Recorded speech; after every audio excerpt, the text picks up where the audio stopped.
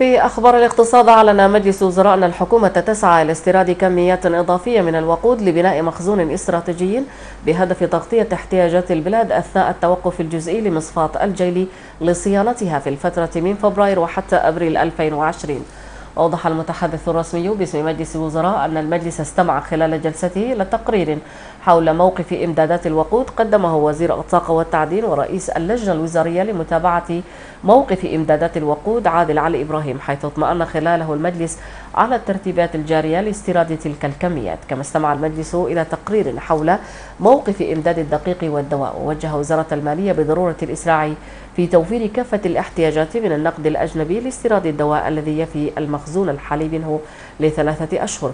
كما استعرض المجلس تقريرا للجنة الوزارية لدراسة موقف المواصلات العامة والذي تضمن تنفيذ الحلول المؤقتة وخطط الحلول الاستراتيجية على المدى البعيد لأزمة المواصلات. أعلن وكيل وزارة الزراعة عبد القادر تركاوي اتجاه وزارته للتوسع في إنتاج الأرز بالبلاد لتغطية الاستهلاك المحلي. وكان وكيل الزراعة يتحدث بمحطة البحوث الزراعية بولاية النيل الأبيض ضمن احتفال الهيئة بيوم حقل إكثار تقاوى الأرز بحضور والي النيل الأبيض اللواء الركن حيدر علي الطريفي. وتوقع وكيل وزارة الزراعة الاتحادية أن يسهم إنتاج البذور في زيادة الإنتاجية وكشف أن الحاجة الفعلية لمحصول الأرز بالسودان هي 50 ألف طن والإنتاج المحلي يغطي 5% من حجم الطلب المحلي مؤكدا استمرار عمليات الشراكة لتطوير زراعة الأرز. امتدح وكيل وزارة الصناعة محمد علي عبد الله الدور المتعاظم الذي تطلع به السوق الأفريقية المشتركة لدول الشرق وجنوب إفريقيا الكوميسا في خدمة دول المنطقة الأعضاء خاصة السودان. وأكد الوكيل لدى ترأسه اجتماع اللجنة الوطنية للكوميسا للتحضير لاستضافة السودان للقمة.